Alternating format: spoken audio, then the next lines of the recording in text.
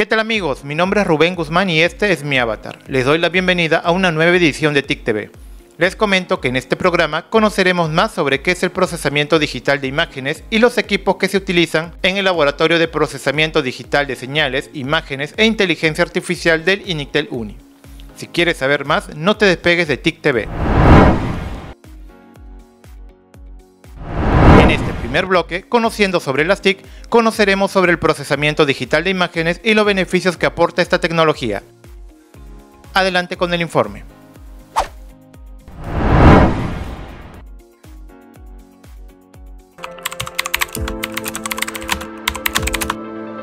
El procesamiento digital de imágenes eh, básicamente es el conjunto de técnicas que se aplican sobre las imágenes para obtener información de ellas. En el ámbito de la inteligencia artificial, que cada vez está teniendo, digamos, eh, un auge más creciente, es muy importante porque hoy en día, con esas técnicas también de inteligencia artificial, se puede lograr mayor eficiencia al eh, tener la información de las imágenes.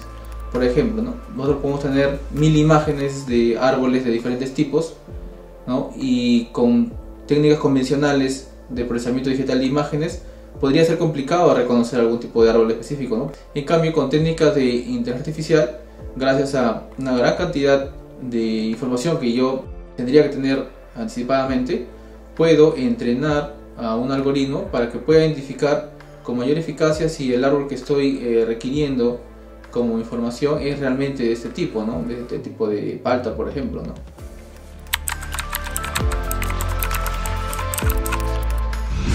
De los beneficios que trae estas técnicas, esta tecnología en la sociedad, en realidad son varios. Lo más importante, por ejemplo, podría ser en el ámbito de la salud.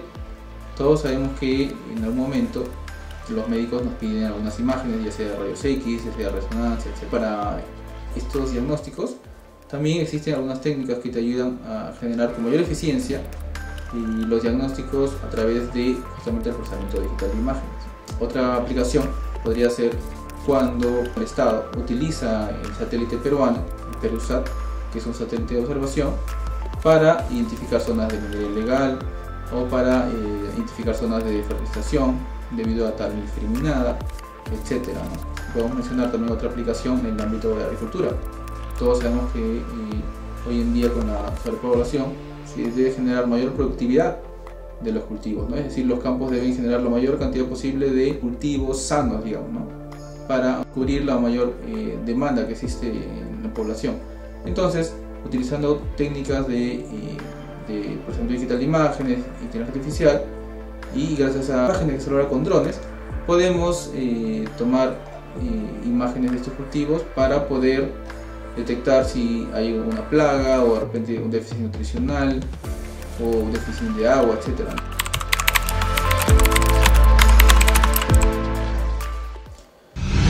El ámbito de procesamiento digital de imágenes, eh, ha desarrollado muchos proyectos desde hace ya varios años. Por ejemplo, el proyecto de identificación de estados manerables.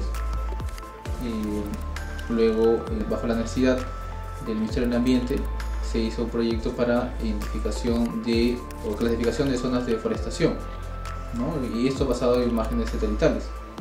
Luego también se hizo eh, identificación de nubes sobre imágenes multispectrales y luego también hemos hecho algunos otros proyectos con otras entidades como por ejemplo el IAP, que es el Instituto de Investigación de la Amazonía Peruana, para identificar zonas de eh, deforestación de aguajales ¿no? Eh, en zonas este, de mucha abundancia de estos árboles con drones para poder generar también mapas ¿no? justamente de esta deforestación. Y luego también hicimos un proyecto en Chiclayo, en este caso con el INIA, que es el Instituto Nacional de Investigación Agraria, para generar mapas de NDVI.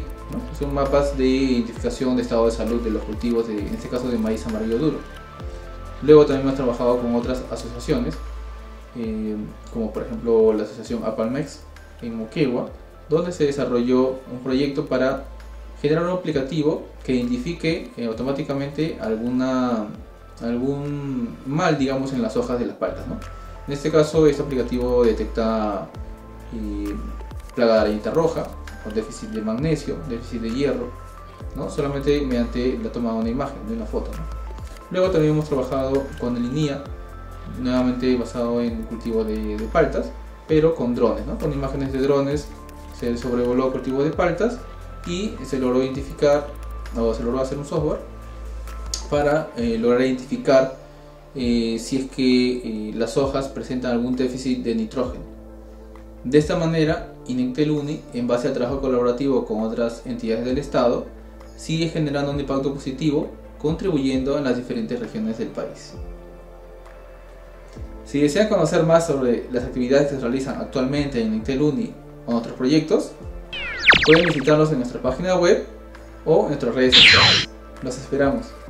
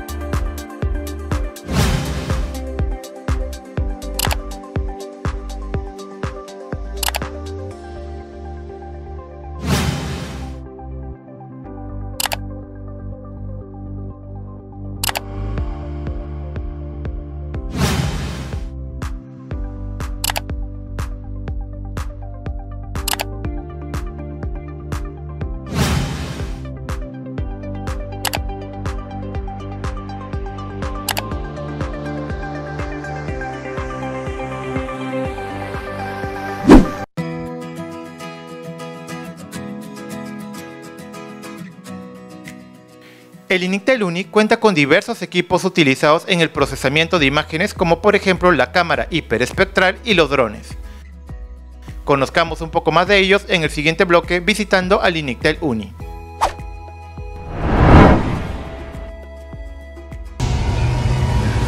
Hola, hoy conoceremos los equipos que se utilizan en Laboratorio Digital de Señales, Imágenes e Inteligencia Artificial.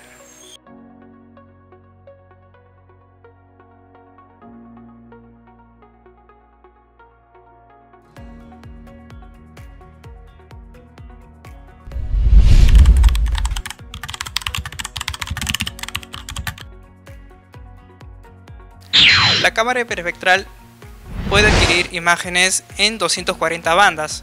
Nosotros podemos ver tres bandas, que es el rojo, verde y azul. Estas bandas nos ayudan a saber la forma, nos ayuda a reconocer los colores. Pero con esta cámara podemos obtener 240 bandas más. Entonces estas bandas, todas ellas nos pueden dar ciertas características que los humanos no podemos eh, obtener. En el laboratorio utilizamos la cámara hiperespectral principalmente para la agricultura de precisión. Esta cámara nos ayuda a detectar ciertas anomalías de los cuales podemos dividirlos en tres componentes. El estrés hídrico, la deficiencia nutricional y algunas plagas o enfermedades. Estos tres componentes nos ayudan a mejorar la productividad en la agricultura en el país. Esta cámara no solamente se centra en la agricultura de precisión, también puede ir a otras investigaciones en la minería, por ejemplo, u otros campos que necesitan analizar, detectar sus firmas espectrales de otros objetos. En el Laboratorio de Procesamiento Digital de Señales, Imágenes e Inteligencia Artificial contamos con drones de tipo cuadricóptero. Estos drones nos han ayudado en las investigaciones de gestión de desastres y agricultura de precisión. En la agricultura de precisión nos ha ayudado a analizar ciertos parámetros de los cultivos sobrevolando sobre ellos. En la gestión de desastres nos ha ayudado a analizar la zona afectada, ya sea por inundaciones, deslizamientos e incendios forestales. El dron de color blanco posee dos cámaras de tipo RGB y otro de tipo multiespectral. Este dron nos ha ayudado de manera rápida a analizar ciertos cultivos para poder analizar sus parámetros. El dron de color rojo es un dron experimental que se ha implementado en el laboratorio utilizando la cámara térmica y algunos dispositivos electrónicos. Este dron nos ha ayudado a generar algoritmos de navegación para poder tener una aplicación más específica a nuestras necesidades. El dron de color negro es un dron con propiedades bien interesantes. Tiene una velocidad mayor a 5 metros por segundo. Tiene un alcance con el radio control hasta de 10 kilómetros y posee una carga útil de 1.5 kilómetros que nos ayuda a realizar ciertas aplicaciones que se limitan con otros drones. En la imagen RGB y en la imagen del infrarrojo cercano, ambas nos ayudan para analizar el color, la forma y también los índices vegetacional. Dentro de estos índices hay un índice llamado el NDVI que nos permite analizar la salud vegetal. Ahora vamos a planificar un vuelo, ya sea manual o automático, tenemos que revisar los siguientes pasos. Primero tenemos que ver que las baterías estén bien cargadas, luego tenemos que revisar que la estructura esté bien acoplada entre sus componentes, Tercero, tenemos que instalar las propelas de manera que no se salgan al momento de realizar el vuelo. Cuarto, tenemos que ver que los componentes electrónicos estén correctamente conectados y luego tenemos que proceder ya a conectar la batería. Entonces, al momento de, conectar la batería, ya con el radio control tenemos que ver ciertos parámetros que estén diciendo que están correctamente listos para poder despegar.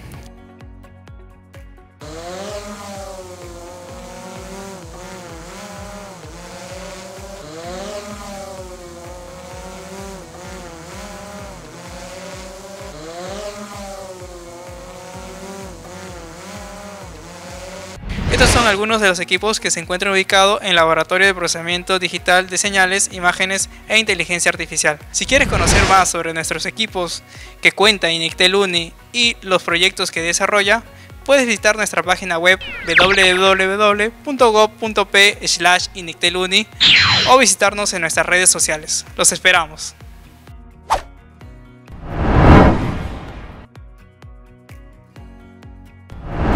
Bueno amigos, ahora en nuestra secuencia DatoTIC conozcamos sobre qué es la esteroscopía.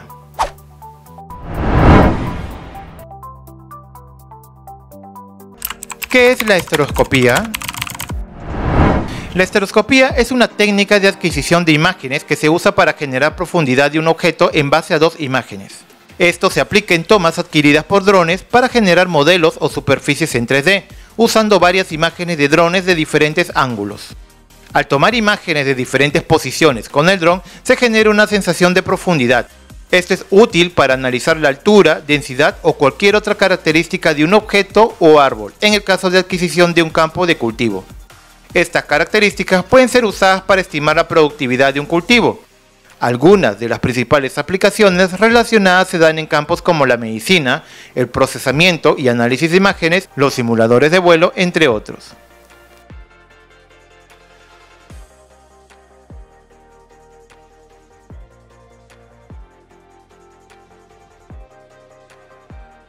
Gracias amigos por vernos, eso fue todo en la edición de hoy. No se olviden que si les gusta la ciencia y tecnología pueden visitar nuestra página web www.go.p inicteluni y asimismo pueden seguirnos en nuestras redes sociales. Hasta pronto.